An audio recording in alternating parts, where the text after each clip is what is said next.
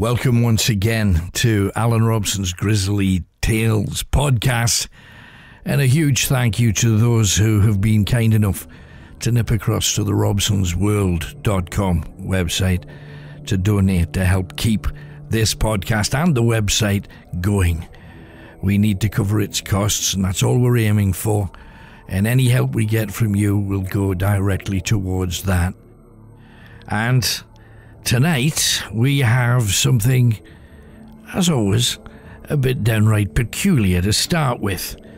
Now, at a time of crisis, everybody looks towards their leaders, the people in control, the presidents, the prime ministers, members of the royal family, whoever's in charge we look towards with the hope that they know better than we do about how to solve whatever the problem is. Usually we're kidding ourselves, but we choose to believe that because we want to feel safe and secure and cared for to a degree. So I'm going to tell you some bizarre and amazing stories about some of the most famous leaders the world has ever seen. And there may indeed be stories that you've never heard. Napoleon Bonaparte. hmm. Everybody thinks they know his story. But did you know he was English? Hmm. At least for 18 months of his life, he was. He was born on Corsica in 1769, and he was 25 when the islanders, having kicked out the government of the Genoese, claimed sovereignty of the country, Corsica, to King George III of England, and it became part of the British Empire for 18 months. The offer was made by the island's leader, Pasquale Paoli, whose secretary was actually Napoleon's dad.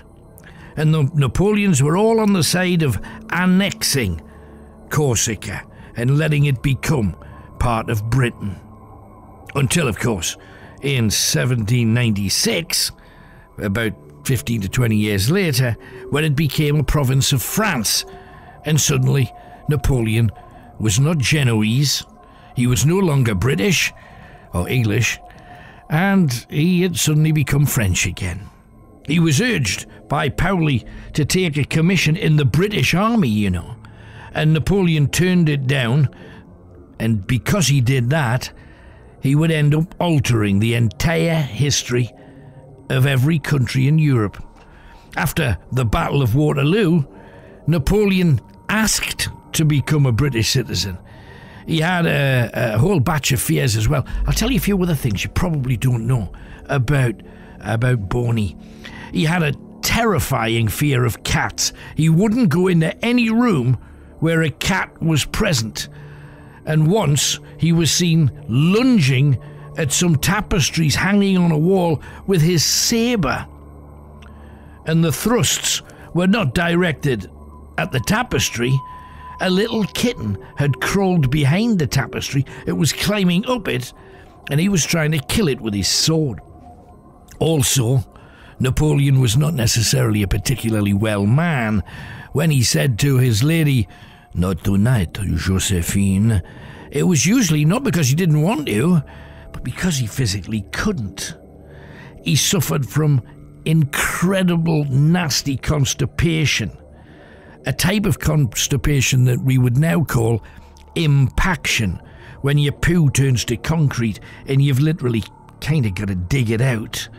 Because of this, he constantly suffered from hemorrhoids and the outside kind that hung down like grapes. Very nasty, not a pretty backside. And also, he ate his food really, really fast, and he would throw balls of bread up in the air, catching them in his mouth. He also hated books, particularly novels. And once he caught his maidservant reading a love story, he grabbed it from her, threw it on the fire, and he gave her a book of logarithms instead, because he was interested in mathematics. So, back to Josephine. On his and Josephine's wedding night, her pet dog jumped under the blankets and bit him. And thinking that he was attacking her when he was simply making love. Sadly to say, for somebody who would consider yeah, anyone French you think they're great lovers, he was buried without his penis. It was stolen after his post mortem in 1821 by a priest. Eh, you can always trust a priest. And in 1971, this withered, shrunken little Willie came up for auction in London. And at the very last moment, it was withdrawn from bidding after failing to reach a reserve price. Okay, we've had Napoleon. Who else? Well, we've got to look at the Duke of Wellington. You know, the person who defeated him at the Battle of Waterloo. And he might well have been the winner there, but he was a lousy shot on the sporting arena. He once put nine pellets in Lord Granville's face. He also hit a dog, three windows, a couple of carriages, a gamekeeper, and a woman who was putting out a washing. And when she cried out that she'd been wounded, the woman was swiftly put in her place by the general's hostess, Lady Shelley, with the words, My good woman, this ought to be the proudest moment of your life. You have had the privilege of being shot by the great Duke of Wellington. Nowadays, we'd have the bugger. Anyway, he was a very peculiar dresser as well. He used to change his clothes up to seven times a day. Every time he changed, he would rub himself down with a mixture of vinegar to get rid of any nasties and rose water so you couldn't smell the vinegar. And also, you know, in the First World War and the Second World War, British soldiers were called Tommies. Well, did you know that the name Tommy was actually created by the Duke of Wellington? Uh, a paper came to him while he was head of, of the War Office, and they said, We're looking for a, a typical name for a British soldier. So he suggested the name of a soldier that had been a private in the 33rd Foot, and his name was Tommy Atkins. He'd served valiantly, so he thought, yeah, just call him Tommy's. The eventual name Tommy Atkins was shortened to Tommy's for the First World War, and it followed on in the Second. And also, you got to remember that the Duke of Wellington was a bit of a a bit of a swanky lounge lizard and a bit of a ladies' man all his life. He was a sexually active pensioner and was said to have had an affair with a politician's wife while he was in his 80s. Can I trust them leaders of any description? Let's have another one. Nelson, for example. Now, first of all, we all know Nelson for winning uh, an incredible battle called the Battle of Trafalgar on board his ship. But he didn't win it. He was dead before it started. It was actually won by his lieutenant from Morpeth in Northumberland called Cuthbert Collingwood, who took his place. Now, you see, Nelson, right from the beginning, was a total Charlie. But uh, I'll explain why a little bit later on. But a lot of people picture Nelson with a patch over his eye. He never wore an eye patch. He didn't even lose his eye. He lost the sight of his right eye back in 1794. But the difference between his bad right eye and his good left one was scarcely noticeable. So, what he did, instead of wearing a patch, he put a little bit of green shade under the brim of his cocked hat more to protect his left eye from the glare of the sun on the sea rather than hide the fact that he was, well, frankly, a bit bong eyed. He felt self conscious about being called Horatio as well, as you would. You wouldn't have got out of the West End in Newcastle if you were a Horatio. So he attempted to call himself Horace, daftly thinking that that was marginally better than Horatio, but his father, who was a Norfolk clergyman, stopped him from doing so. Now, his life was saved by another northeasterner called John Sykes at the blockade of Cadiz when Sykes held up his own hand to parry a sword blow that would have killed Nelson. His hand was severed from his arm. But Nelson wasted the life that was saved because he didn't need to die at the Battle of Trafalgar. What he said was that he was going to go out on deck in full military honours. That means he wore a really bright uniform with four huge stars of decoration on his left breast over his heart, making the perfect sitting target for snipers. They said, Look, people, the snipers will shoot at you. You become a targeted man. And Nelson said, ah, I don't mind that. And as soon as he stepped out on deck, he got shot. And he was gone. And all he had to do was change into a plainer coat. Now, this is where it gets interesting as well because they pickled his body on the homeward journey. His hair was cut off, and they put his naked, shot dead body in a large cask of brandy. The only item of clothes that he had on at his time was his long white shirt. Now, what made this worse was that when the ship got back to England, so that Nelson could be taken out and buried, there was no brandy left in the cask. On the way back, all of the other sailors had been sneaking a little tot here and there and they'd finished off the entire cask, and Napoleon was looking less um, preserved and rather more crinkled. And the worst thing is, he's lying in another man's grave.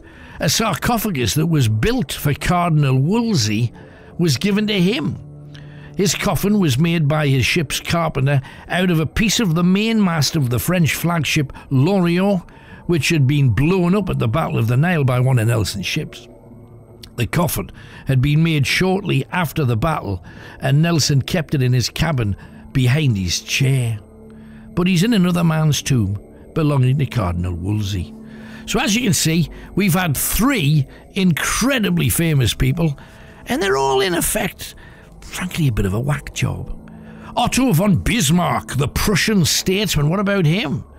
Well, he should have been in every medical case book because he had pretty much every ailment possible at that time. In his 60s, uh, he suffered from gout, gallstones, jaundice, insomnia, migraine, flu, rheumatism, neuralgia, varicose veins, two or three cases of shingles, severe cramps, chronic indigestion because he was an overeater and a bit of a tubby, and he suffered from horrific hemorrhoids. And one night he went into a beer saloon in Prussia, and he was just about to have his first drink of the night when he heard someone insulting the royal family. Incensed, he ran across to smash the glass over the offender's head, but walked over to him, drank the beer out of it first, then smashed it over his head. What about prime ministers? What a shower we've had over the years. Gladstone. There's a name from the past you've probably heard. William Ewart Gladstone became uh, Prime Minister of Britain, and he was a self flagellator. Yeah, before and after his visits to brothels, and he would tell people, I'm there to rescue fallen women, but always the young and attractive ones, it had to be noted. He would beat himself with a whip to drive out all of his carnal lusts and anything that aroused him. He had a taste for reading pornographic material, and he had one of the biggest collections that anybody had ever seen. And he also had the forefinger of his left hand missing. Now, he accidentally shot it off when he was cleaning a gun. And it kind of went further in his family as well. His sister Helen was an opium addict, and yet she was a mad Roman Catholic and once she strung together the pages of books written by Protestant luminaries and put them in her toilet so that people could use that Bible as toilet paper. She had so much contempt for it. Let's have another Prime Minister. David Lloyd George. A lot of people in the war said that he knew their father. And yet he was probably one of the most clumsy people on earth. He said he could never open a window at number 10 Downing Street without hurting his fingers. His own secretary wrote that. He was completely incapable of opening the dining room door at number 10 Downing Street. On some occasions, he would wait behind it for up to 20 minutes until somebody else came that could open it for him. He would always grab hold of the doorknob and turn it the wrong way, and he would seem it was impossible for him to turn it the other way. After minutes, sometimes up to 20 to 25, he would petulantly rattle the doorknob until somebody else came along and they opened it immediately. He had problems, that guy. Now, we have a lot more very famous people. Shall I share a few more with you? Well, what about Winston Churchill? We all loved uh, Winston, Winnie. He had native red American Indian blood in his veins. His mother, Jenny, was an American uh, whose great great grandmother was an Iroquois squaw called Mary Bar. Churchill's own grandmother, on his mother's side, so resembled a native Red Indian that she was known as Sitting Bull within the family. Now, he was born prematurely, shortly after his mother fell while she was out shooting, and she was only seven months pregnant. He was breastfed by a wet nurse so that his mother could continue doing the rounds of high society. She didn't want a child on her tit. And at his first school, St George's Ascot, his report, and we all hated those school reports, this one was in 1884, and the headmaster wrote, This boy has no ambition at all. His father Randolph died of syphilis that went on to affect his brain, leading Winston not to be able to even talk to him. And Churchill in his early life spoke with a lisp and he was completely against giving women the vote. He once said about the suffragettes, We already have enough ignorant voters, we don't need any more. And then he married the love of his life, a lady called Clementine, and she was amazed to discover that he wore ladies' pink silk underwear. Yeah, might have saved us during World War II, but there was an issue or two there, I think you'll find. Something about Ho Chi Minh, what about that? You know who he is? He was a Vietnamese revolutionary leader. And do you know he was once a dishwasher in the kitchen of the Carlton Hotel in London? Everywhere you look, there's fascinating things. You've just got to dig them out, and nobody digs. So that's down to me. Jesus. Let's get to Jesus. Now, don't upset you if you're a Christian, but we know that there is absolutely no proof that he ever existed. None whatsoever. Not of his birth, not of his death, not of any of the things that he is said to have done, because all of those things had been done previously by other people claiming to be messiahs. There were seven in total. And also, many of them were written down in Chinese writings about 3,000 years before Christ was born. So they weren't new stories, they were just old stories pinched. What can you prove? Well, you can prove that there was a wanted poster issued by Pontius Pilate for someone called Jesus Christ. Jesus Christ, you could say. However, they weren't wanting to arrest him because he was a Messiah, they wanted to arrest him because he was a thief. About five feet tall, with a hump, dark eyebrows that meet in the middle, a long nose, going bald, with a thin beard, so that they that see him might be affrighted. That's what was written on the wanted poster. Of course, the Christians changed that to a six feet, blue eyed, copiously bearded, graceful person with hair the colour of ripe hazelnuts. Ah, well, there you go. That's hype for you, and there's spin uh, everywhere you look. Then, let's have a look at some more of those great leaders. Kaiser Bill. There was a hit years ago called uh, Kaiser Bill's Batman, like a whistly thing. But the real Kaiser Bill, the German ruler, was born with a withered left arm that hung loose in its socket. He had a neck injury that made his head kind of lean to the left, and he was deaf in one ear.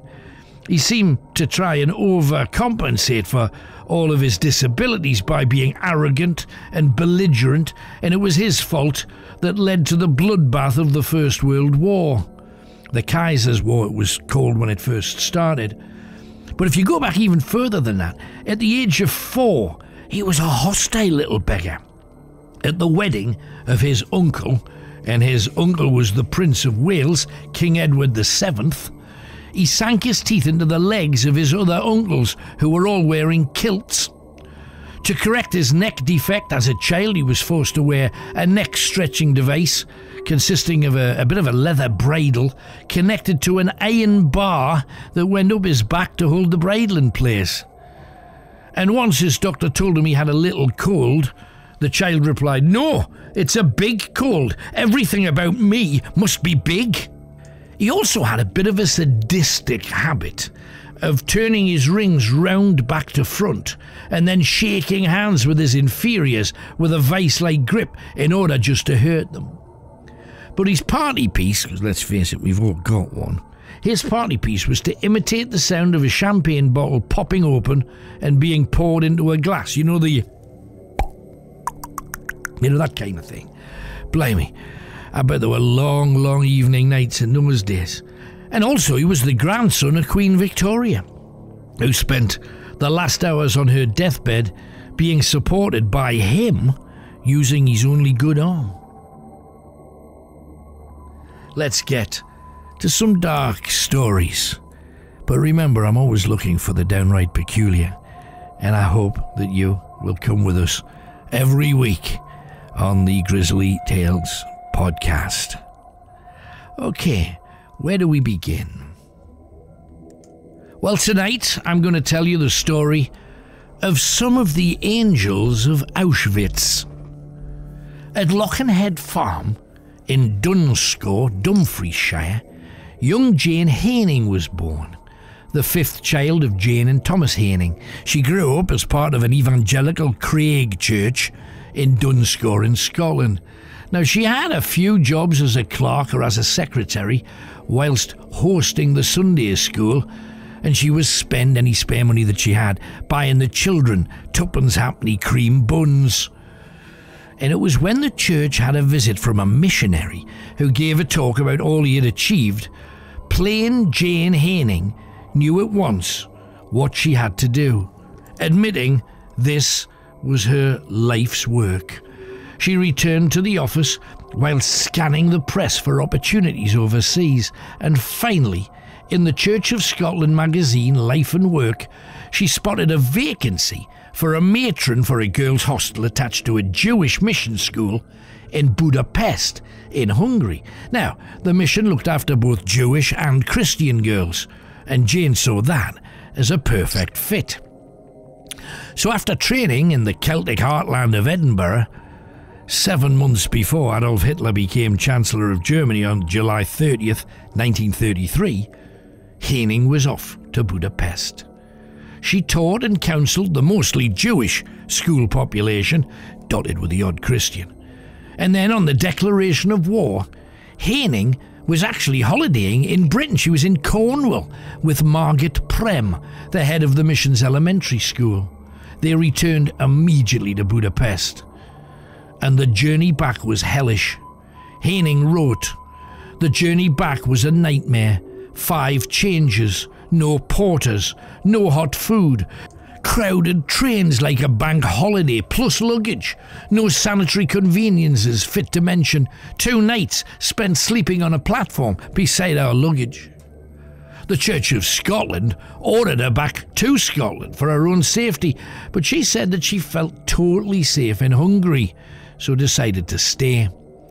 On getting back there, she wrote, I'm glad to say we are shaking down into something of an order, although it was a month after I came back before I was able to have one complete day off duty. The children are gradually getting into harness, and I am having time to miss the letters which do not come. Of the war, it is better not to speak, and indeed, there is nothing to say in a letter. Hungary is neutral and anxious to remain so, so we who are enjoying her hospitality are refraining from talking politics. Then, the Great Surge began in 1941, where Jews from all over German occupied Europe began pouring into the neutral countries, including Hungary, to avoid the increasing Holocaust. Food was becoming very scarce, markets had very little to sell. Jane began chopping up her leather suitcase to repair some of the girl's shoes.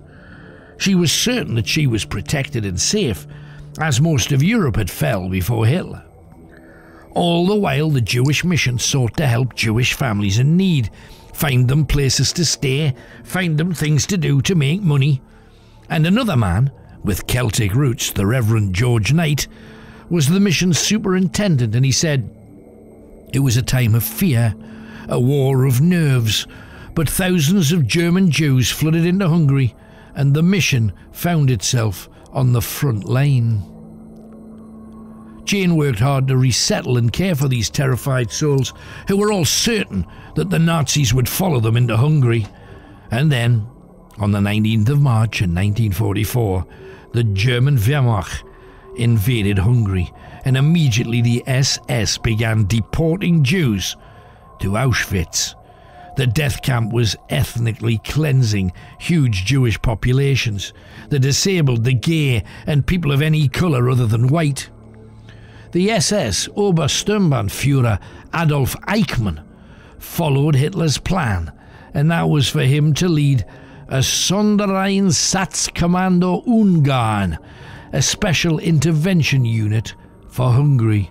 And by the end of the first month, anti Jewish laws were introduced.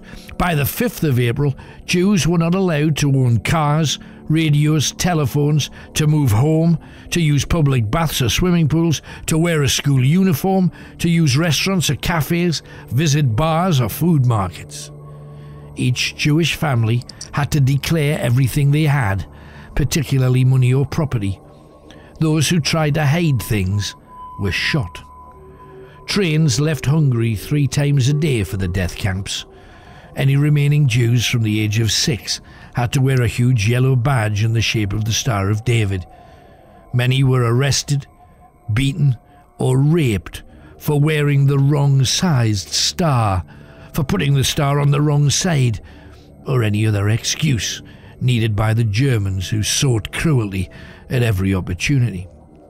As Jewish numbers diminished, the SS began herding the rest into holding areas, including warehouses, factories, and ghettos where they were not given food nor water. All the while, back in Budapest, Jane Haining had been helping any Jewish people that had arrived there and tried to get her mission children out of the country. When in May 1944, two Gestapo officers arrived at Jane's mission room declaring her a Jew lover. They gave her 15 minutes to pack, and then she was held in the cellars of the local police HQ.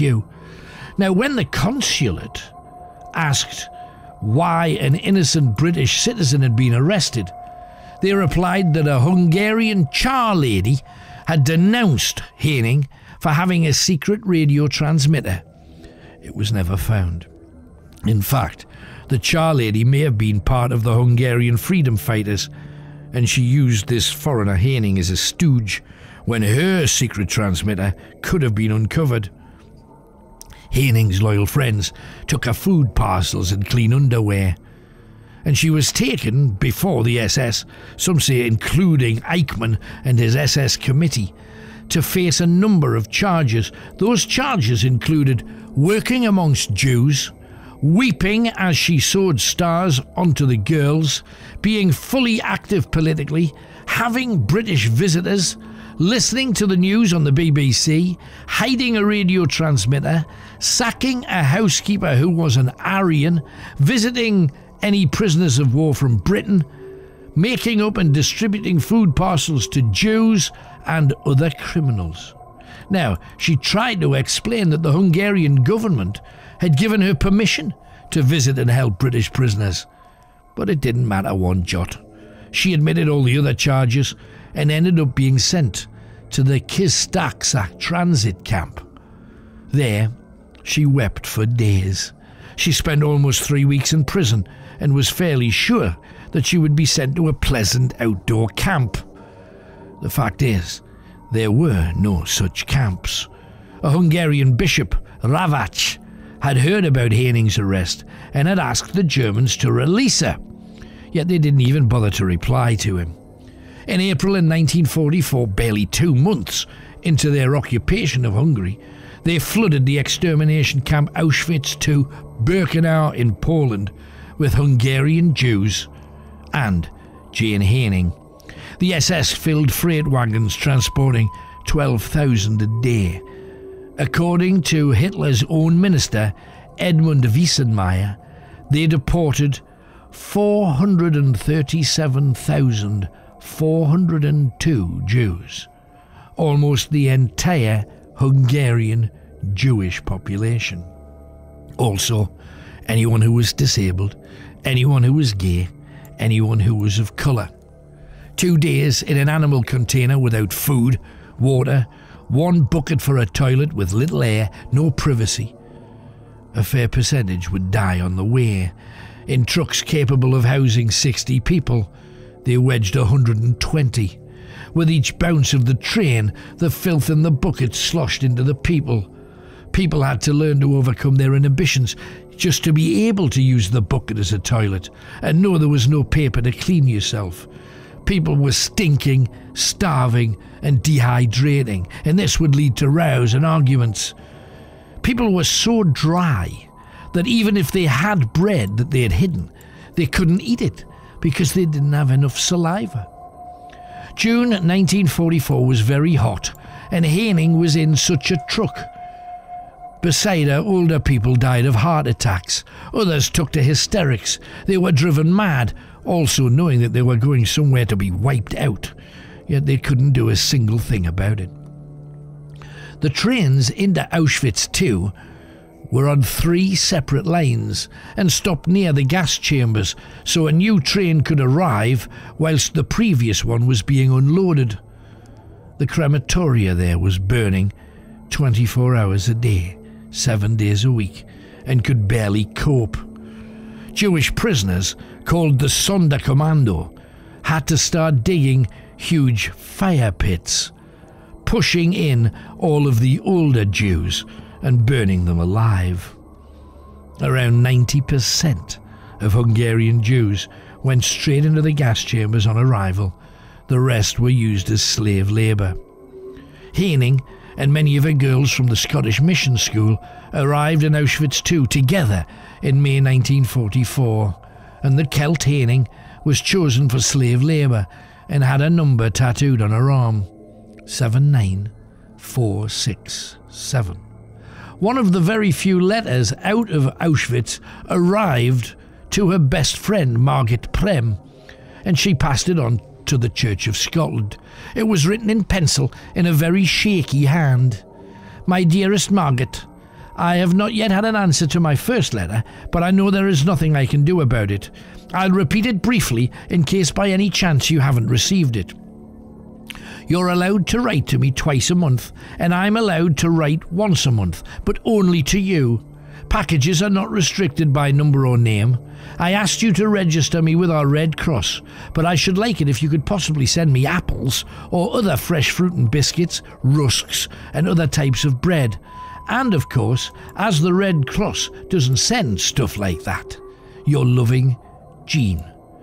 Two days after sending that very letter, the SS released a statement.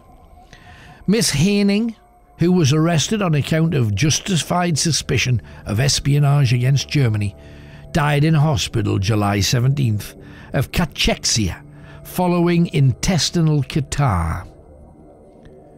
Yet there were suspicions that she may well have been operated on by Dr. Josef Mengele. Her friends chose to believe that she died peacefully in her bed in that horrific concentration camp. Yet there is a story that runs parallel with that of an amazing survivor of the death camp and the vicious Dr. Death, Josef Mengele. And her name was Francie Rabinek. She was 19 when Hitler's Blitzkrieg entered and took over Czechoslovakia in March 1939. The last words from her mother was, Your only duty is to stay alive. Her response was to shout back, I will, I will. Just prior to this, the young teenage girl, teeming with life, high spirited and strong willed, had proven to have an unquenchable zest for life, recently taking over her mother's high fashion business in Prague, and it was becoming a massive success. She admitted to being carefree, slightly spoiled, and mainly interested in dancing, her shop, flirting, and skiing. But in 1942, she, her parents, and her husband were rounded up and taken to a military transit camp 40 miles away in Terezin. This is her story as told by her. It was late at night when we stopped at a platform with a big sign that read Auschwitz. That name meant absolutely nothing to me. Even before the train doors opened, I heard bellowing and cursing in German and Polish. Outside, I could see, amongst the SS guards, a large number of strange creatures with shaved heads and dressed in a sliped blue and grey pyjamas. We were pushed and jostled. It was very uncomfortable, and we were forced into a long column and ordered to march along a dirt road flanked by double walls of barbed wire. At intervals along it were signs in German saying caution, high voltage. The entire spooky scene was illuminated by light beams from watchtowers every hundred yards or so. There were barking, snarling dogs and SS men everywhere. A few striped figures flitted back and forth in the dark, carefully keeping out of the way of the SS. Halfway through our trek, one of them appeared next to me. He was dragging a stretcher, carrying a twisted, starved corpse. He said hi in Czech, and to my surprise, I recognized him as Tommy, an old friend, and he explained hurriedly that everything of value would be taken from us. But if I gave him whatever I wanted to keep, he would smuggle it into the camp for me. I had so very little two wristwatches, a fountain pen, a toothbrush, a comb, and some stockings. And after pushing the items under a cloth with the corpse, Tommy disappeared into the darkness. Polish prisoners in striped uniforms were registering our data, and after giving them my details, I acquired a tattoo on my arm A hyphen 4116. I was assigned to Block 12, which was occupied by mainly elderly women, and after a period in quarantine, Another face from my past appeared. Why did you come here? Don't you know you're going to be burned? You should have run away. Nobody gets out of here alive. Well, it was Kitty, my second cousin and lifelong friend. I was convinced that she'd gone stark raving mad. What was all this irrational nonsense that she was blurting out? Listen to me, said Kitty. I see by your face that you don't believe me. Come out and I'll show you and I followed her out into the camp, and there, in the distance, Kitty showed me a group of chimneys, spewing smoke into the sky. And for the first time since my arrival, I became aware of a peculiar smell in the air, kind of like burning hair. But all this is quite impossible, I said. This is a big camp. They may just be burning the corpses of people who have died a natural death. Oh, yeah, said Kitty. So, how do you explain that 1,750 people disappear every night?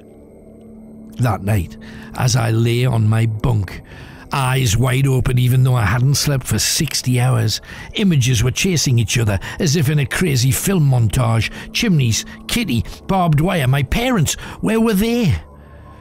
I used to disappear into my own world, trying to push away any horror I saw on a daily basis.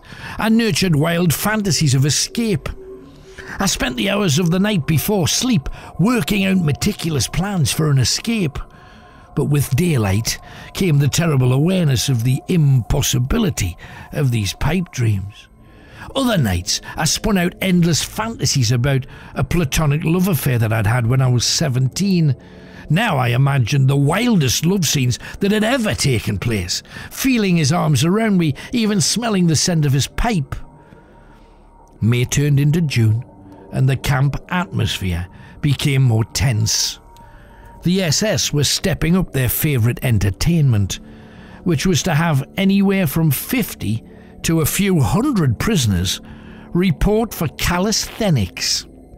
They would then order them to do push ups, knee bends, running on the spot until these poor, starved individuals dropped from exhaustion. Each prisoner that fell appeared to prove the theory of the inferiority of the Jewish race, and they would then go to the gas ovens. Then, in the middle of June, we heard some startling news. The treatment of Jews was to undergo a dramatic change. An order had come directly from Berlin. The new idea was not to kill Jews capable of work, but to send them to any place that had acute labour shortages, and then work them so hard that nature would take its course. There would be a selection in the next few days in which people aged 15 to 40 years of age would be chosen for the work camps. So, June 20th, 1944, the process began. A thunderstorm was roaring in the background. It was getting closer and closer as some 2,500 women massed in the children's block for selection. While we huddled at one end of the yard, Dr. Josef Mengele stood at the other with his aides. His arms were crossed at the chest, and he wore shiny riding boots. Someone barked an order for every woman to strip to the skin and put our clothes under our left arms. A parade then began, each of us in single file, and on arrival in front of the doctor, each woman had to stand to attention and answer several questions. Afterwards, Mengele indicated with a jerk of his thumb the people had to move to the left or to the right. Very soon, a simple pattern emerged. The group on the left was clearly for the death chimneys. It included the weak, the old looking, those wearing glasses who were considered disabled, those who were disabled, or even those that had any scar on their bodies at all. The people on the right would be destined for work camps and to survive. The storm was directly above us now. The thunder and lightning made the scene as a few thousand naked women stood in front of twenty booted Germans, all grinning. It had the feel of a fantasy of some insane, surrealist painter. As I watched, I made a mental note that even young and strong girls that had appendectomy scars ended up in the gas ovens. I had one too so I needed to think quickly. It was now my turn to be interviewed by the doctor. Number, number, age, married, profession. And when I replied to profession, I said electrician, and there was a pause. What? Repeat that? I said electrician again. Is that true? You know how to pull wires and such? I confirmed it to be true and he pointed me to the right and made a note of it. Mengele ordered a scribe, and I joined Kitty. I'd made it and began to put on my clothes. The other girls crowded round me and explained that the idea of declaring myself an electrician had come to me on the spur of the moment when I was frantically thinking of something original to distract them from the fact that I'd had an operation scar on my stomach. Now, it wasn't totally an outright lie, since my father had been an electrical engineer and had always encouraged me to learn how to fix faulty wiring or a broken appliance at home. And the day came for my departure, and once again we were loaded onto cattle trucks. Slowly, Gathering speed, the train took at least 20 minutes to get out of the Auschwitz complex. I was terrified. Only in daylight did we get the sense of the immensity of this death factory. Then, quite suddenly, from inside, we were outside and the view changed. The train began passing through flowering meadows and babbling brooks, lush green, and it was totally unbelievable. Someone started to sing, and soon the entire train was running through a repertoire of Czech folk songs. Empty stomachs were forgotten. We laughed and teased each other like an exuberant bunch of children intoxicated on the joy of still being alive. Even the armed guards travelling with us could not suppress their smiles. For the next nine months, Francie was in a camp in Hamburg, and she impressed the Germans with her skill as an electrician. And by March 1945, with the war in its final weeks, the Hamburg camp was badly bombed, and poor Francie ended up heading back for Bergen-Belsen. Francie takes up the story. The whole city of Hamburg was a sea of flames. We were suddenly lined up and marched back into those freight cars to be evacuated. And the following day, we arrived at our sick destination, Bergen-Belsen. The ghoulish sight that greeted us topped anything that we had seen so far.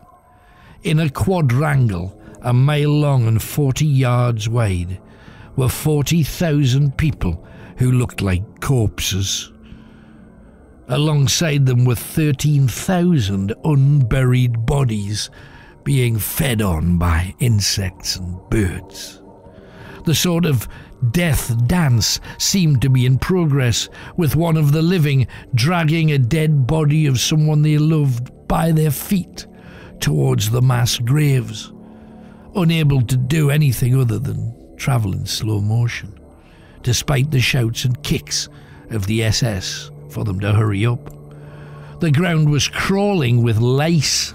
There was no food and water was scarce. Some people were eating dirty grass.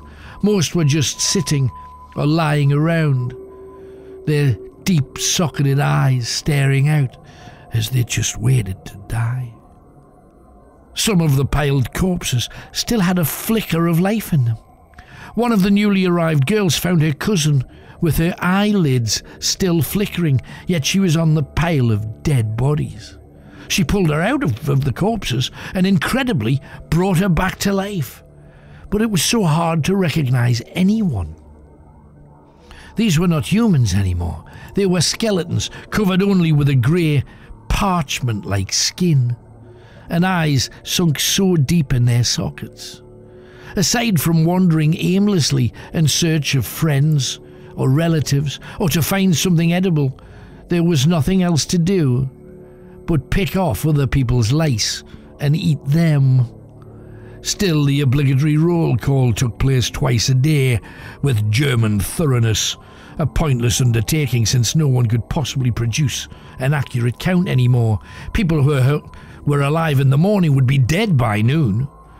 The sleeping quarters were mainly empty huts, crawling with lice. Most of the bunks had been used as firewood. There were no pallets or blankets, and the rooms were so overcrowded that we slept on the bare floor with our heads on someone else's body. A typhus epidemic had started two months before. There was no need for the gas chambers now that people were dying at the rate of 200 to 350 a day. There was talk of cannibalism in the men's section, and considering that we saw many a corpse with a part of their thighs cut out, it was very probably true. And one day there was a sudden distribution of bread rations, although Food provision had come to a standstill weeks before. The starved inmates sank their teeth into the bread to discover a strange grating sound when they chewed. The Germans, for fun, had baked ground glass into the dough, and no one would ever know how many people died of intestinal bleeding because many ate it, regardless of the danger. It was not easy to think rationally anymore. There was no humanity there. Just death. On the morning of April 15th, 1945, the door was open just a crack when one of the girls said that a tank was coming down the road. We're probably going to be machine gunned, someone replied. No, there's a white star on the side of it. The hatches are open. The soldiers are wearing black berets. the girl insisted. Someone grumbled, To hell with your fairy tales! But our curiosity got the better of us. She was right. The tank was no mirage, nor the star on its side, or the long convoy of vehicles following it. The British were here. A man who was Scottish, for he was wearing a kilt, reached out to us, but we shied away. He openly sobbed at seeing us looking the way that we did. He said his name was Billy, and he threw a water flask at our feet. Yet we barely had the strength to pick it up. Yet his kindness we will never forget. We were so frail. I truly believe that had we not had water that day, none of us would have made it through the night. We stayed up with tears in our eyes. The Union Jack fluttered in the wind, but the inmates, most of them, were too far gone to take in the full reality of it, even to feel joy. Hesitantly, still expecting to be shot at, the prisoners began to venture out. It was far too late to save so very many. Even the kindness of the British soldiers ended up killing them, so fragile were they. One after another, the armoured vehicles came up the road. Every soldier turned out their pockets.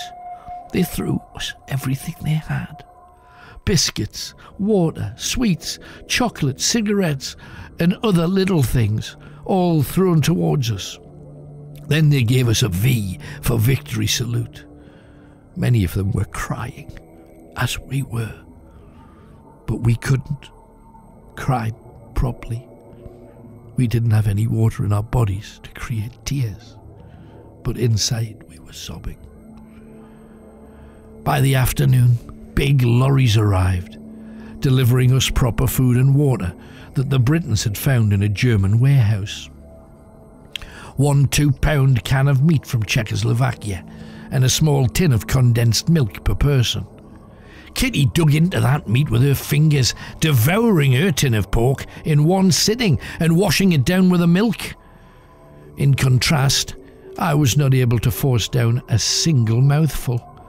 The following day, the British opened all of the gates, including that of the German storehouses. There were huge buildings with a red cross painted on them, with enough food in there to feed an entire army for months. They had wanted the camp's inhabitants to starve to death. With suicidal greed, anybody who could still walk crowded in, and in a state of mass hysteria, people literally drowned head first in a barrel of pickles. Another died choking to death in a barrel of mustard. Another in a barrel of butter, whilst others tried to get in over them. Kitty and I watched from outside, too weak to join in any battle, even for food. But later, we noticed our skeleton like comrades emerging from another, less crowded storehouse dressed up like German soldiers in their shiny boots, and we ventured inside. We helped ourselves to two magnificent fur lined coats that reached all the way to the floor, and also a tent. And thus equipped, we occupied one of the deserted watchtowers to get away from the lice. It did not upset us that at the base of the tower was a heap of twisted corpses that seemed to change facial expressions with the light of day and night and encroaching shadows. Nor did it bother us that the tower was open to the elements. After putting up the tent against the biting wind, we wrapped ourselves in our new fur lined coats, and for the very first time in years, we slept like princesses. Francie had kept her promise to her parents. She had survived two of the Nazis' very worst extermination camps and bravely outwitted Dr. Josef Mengele, Dr. Death. It's generally believed that the Germans never sent any Jew to the hospital. If one became ill, they said they were going to the hospital, but instead they put them into the gas ovens. There were no exceptions. So, when asked about the fate of Jane Haining, Francie replied, If she was in the hospital, she was in the hands of Mengele. The hospital was for experiments on the living, and no one ever came out alive. Francie then returned to Prague, only to discover that her husband and both parents had died in the gas chamber. And that first kind, brave soldier, Billy from Scotland, and another Celtic thread to the story, had saved her life. Yet on saving it, perhaps we learn just how painfully Jane Haining may have died. Mengele was experimenting with genetics, having been given no boundaries. So often his work involved inhuman practices. Performing a range of agonizing and lethal experiments with twins of all ages and Jewish and Romany children, he collected the eyes of his murdered victims so he could research pigmentation. On some occasions, he just tore the eyes out of living people on the way to the gas oven, as if they were not going to suffer enough. On adults, he allowed the progression of noma, a type of gangrene that destroys the mucous membrane of the mouth. Dr. Mishklov Nizitsli, a prisoner, often helped Mengele, and he said, when the doctor had the chance to experiment with British, French, or Scandinavian prisoners, Aryan looking, he always took it, for he believed that they were the nearest thing to his own proud Aryan race, especially the British. Yet another incredible story of survival and death, all sewn together with that age old Celtic thread. Incredible tales, and true as ever. We try and give you the truth no matter how shocking it is. And it just shows you the courage that anyone had to have just to live a day in such a place. Once again, I thank you for visiting robsonsworld.com and checking out the stories there.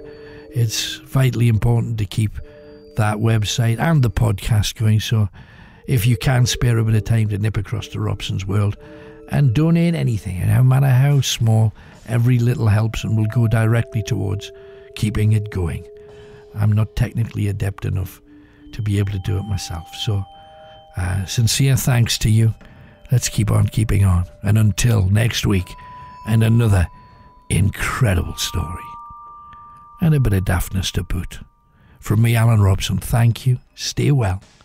God bless you. And I wish you well.